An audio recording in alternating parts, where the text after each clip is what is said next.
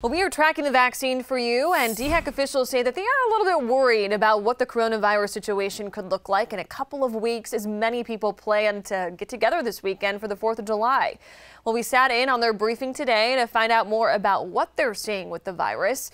DHEC officials say that they're concerned about that Delta variant.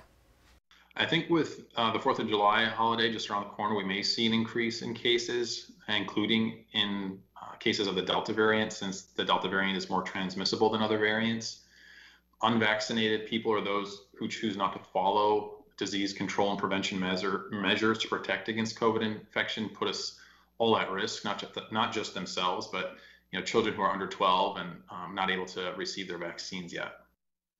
DHEC adds all three approved vaccines, Pfizer, Moderna, and Johnson & Johnson are all showing to be effective against severe illness against COVID variants and help prevent hospitalizations.